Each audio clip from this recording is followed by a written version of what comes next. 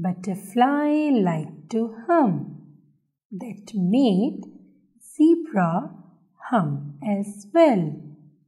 One day they were enjoying their humming when Ahmed come with a tub.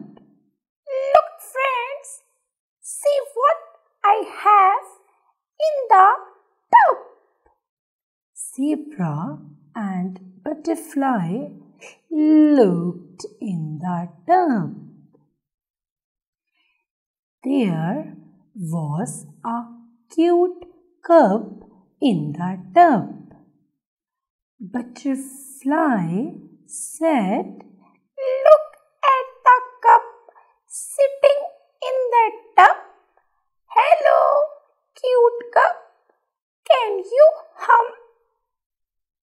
Cup was too young to reply. He just moved his mouth like his chewing a gum. Zebra asked, Hey Cup, would you like to come out of the tub? Once again, Cup moved his mouth like his chewing a gum.